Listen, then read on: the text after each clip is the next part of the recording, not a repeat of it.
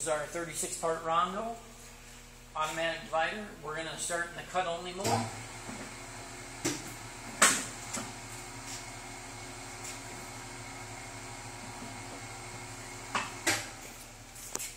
We're going to slide right here. And this unit right here gives you different rotation levels.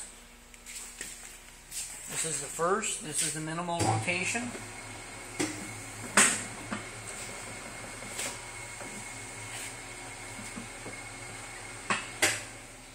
And I'll put it on max rotation.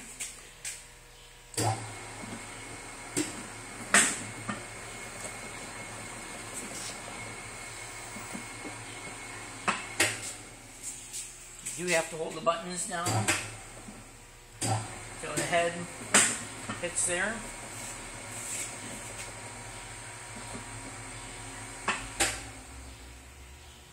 There you go.